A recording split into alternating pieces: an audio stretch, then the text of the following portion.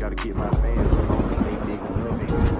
I'm thinking about Trey. What's good, YouTube? It's your boy Charles K coming back to you guys with another video. And as you guys can see from the title of today's video, I'm back on Elden Ring, showing you guys yet another unlimited rune glitch after all the most recent patches and updates. Also, before today's video does get started, make sure that you guys are going into the pinned comment down below, following all those steps to enter our Elden Ring DLC giveaway. All you guys have to do is follow all those steps, and you will be automatically entered for a chance to win. Now, for my people who just want to skip this rune glitch and get runes instantly, like with a snap of a finger, here's a message from today's video sponsor. Today's video is going to be sponsored by MMOEXP, the best place to buy affordable runes and items on Elden Ring.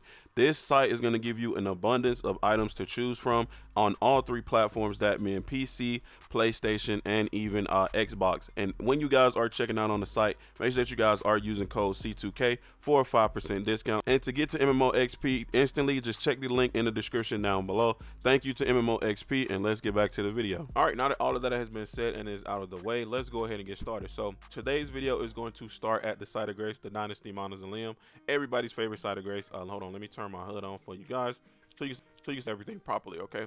Now, what you guys want to do uh, basically once you do load in from this side of grace is simply follow where I'm going. You're going to drop down from this little tree just like so. And at this point once you do drop down you will be able to summon torrent. And you're just going to follow where I'm going in the video right now. Uh, basically just stick to the sides.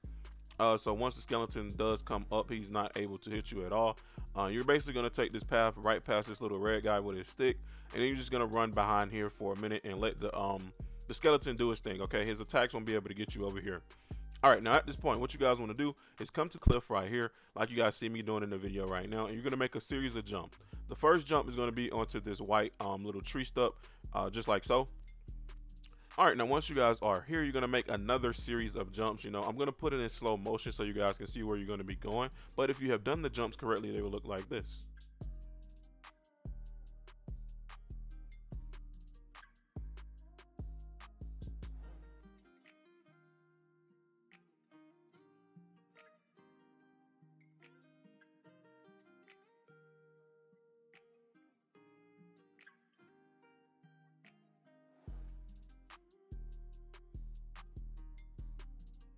All right, now at this point, once you guys have made it up here to the far side, all you're going to do is make your way to the back side of this like you guys see me doing right now. Basically where all this blood is at, and this basically is the back side of this map, okay? So this was actually closed off too as well, um, sort of like the one I showed you guys over next to the big birds. This is another side, the back side of this map that was closed off as well. This is how you guys can get back here after all the patches. Now, once you guys are here, it's very it's very fairly um easy and simple what you're gonna be doing. Go into your inventory, use your gold fowl picklefoot, and you guys know for good measures and uh you know anytime we're doing any rune glitch on the game, we're gonna be using the silver fowl picklefoot as well because it really does not get the love that it does deserve. Now at this point in your primary hand, you guys are gonna want to be holding a melee weapon that you can swing. So make sure that it is in your right hand slot. And all you guys basically are going to do is run and jump off this clip and do a double jump and begin melee in the air until you guys are falling endlessly. And if done correctly, it will look exactly like this.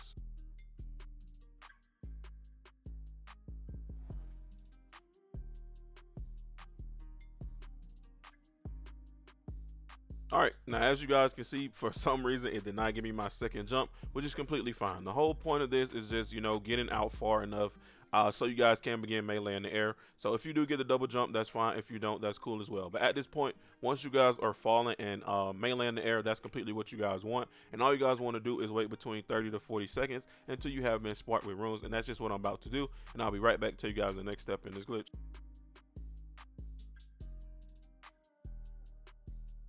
Alright, now once you have been sparked with those runes, all you're simply going to do is teleport right back to the site of grace. We did start with in today's video which is the Dynasty Mausoleum site of grace. And once you guys do spawn in, as you can see for that rune glitch, you'll be given 348,000 runes every single time that you guys do do that. And that's exactly what I'm going to put in the title. You know, I'm not going to sugarcoat it like I told you guys in the last video. I'm going to be completely transparent with you guys and what you get. Now, a lot of people is asking me, how do I get, you know, this amount of runes and stuff like that? I am in New Game Plus, so make sure that you are doing these rune glitches in New Game Plus so you can get the most amount of runes out of them when you guys are doing them. But, um, make sure that you guys are doing this glitch and make sure that you guys are visiting MMOEXP if you don't feel like doing the glitch to get your player ready for June 21st once the DLC does come out. But that's going to be the end of today's video, man. I hope you guys did enjoy. Don't forget to drop a like on today's video and don't forget to turn on those post notifications. It's me, your boy Charles 2K. I will catch you guys in the next one. I'm out.